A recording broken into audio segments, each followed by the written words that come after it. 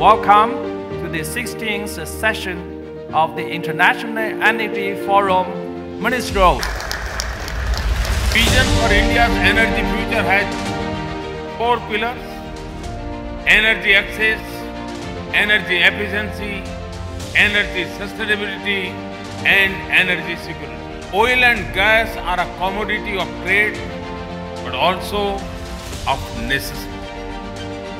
Whether it is for the kitchen, for a common man, or for an aircraft, energy is essential. It is very fitting that this IEF ministerial meeting being held in a nation which over the coming quarter century will see the fastest energy demand growth in the world, accounting for almost one third total energy demand growth. The uniqueness of IEF as a neutral forum is that it brings together producers, consumers, international organizations and CEOs to engage in a frank and transparent and inclusive dialogue. And I think everybody enjoyed the new format and uh, IEF also accommodated that uh, suggestion. I am thankful to IEF. This one and the more interactive and the more dynamic and uh, with the, all the audience. So by this one, we feel that it's uh, more impressive and more efficient. It took all of us together to bring the oil market out of the wilderness, and we need to take these lessons into the future. India is moving to the center stage of global energy affairs. It's a combination, politicians and the industry. Can't, politicians can't do anything without the industry. So this is really a good arena to be in. Hats off to Dr. Sun and to uh, the Indian government for uh, probably the most effective IEF I have, I have ever been to. Uh, and part of that is because the dialogue cannot be government to government.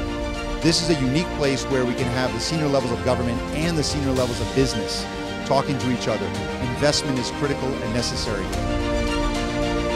It's not the first time that the industry is faced with these kind of uncertainties. This is an industry which is more than 100 years old and it managed to deal with more uncertainties that we are seeing today. And the fact that energy is such a fundamental thing in the world and it's going through this transition right now, it makes this meeting even more relevant. I think to have a more comprehensive approach is important to bring all these stakeholders together and it's already a very positive step that the IEF has taken by widening uh, its target audience. Have covered most of the subjects that we always talk about in the industry and I think it was candid, I think it was uh, beneficial to me and I'm sure it was beneficial to most of the people participated uh, into them. Oh yes, I've been able to meet a number of colleagues. Yesterday we had a reception, we had a, a good uh, interaction, we have exchanged contacts, we have exchanged cards, and I hope from here we shall make some good progress. The evolution of its format is also very useful. And uh, now that I'm back to my country and that, I see that the IEF is very useful in terms of uh, finding uh, partners, old friends, and creating that engagement that we all require to understand how this market is evolving.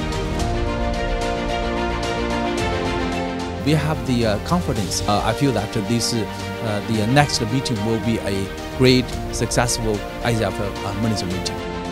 17th International Energy Forum Ministerial in China in 2020, co-hosted by the government of Morocco, and all members countries and relevant international organizations and industries and media here are all welcome to attend this meeting in China in 2020.